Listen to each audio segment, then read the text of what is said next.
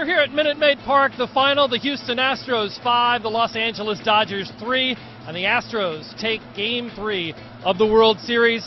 Ted, pretty great pitching performance from two Astros, starter Lance McCullers, reliever Brad Peacock. Yeah, Peacock especially did such a good job coming in and, and shutting down the Dodgers for three and two thirds innings. No hits, four strikeouts, only one walk. Kind of reminds me of what Lance McCullers did here for Game Seven of the ALCS. So, what did the Los Angeles